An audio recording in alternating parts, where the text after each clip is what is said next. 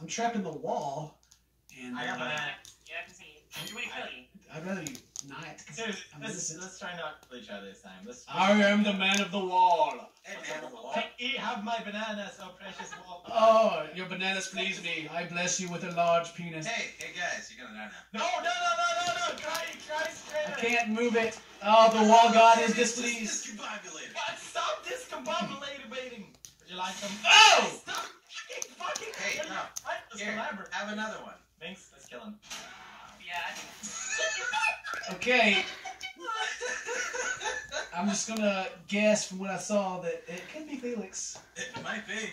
This is awkward. Hey, uh, come, come a little closer, if you would, please. A little closer. Another step, maybe. Hey!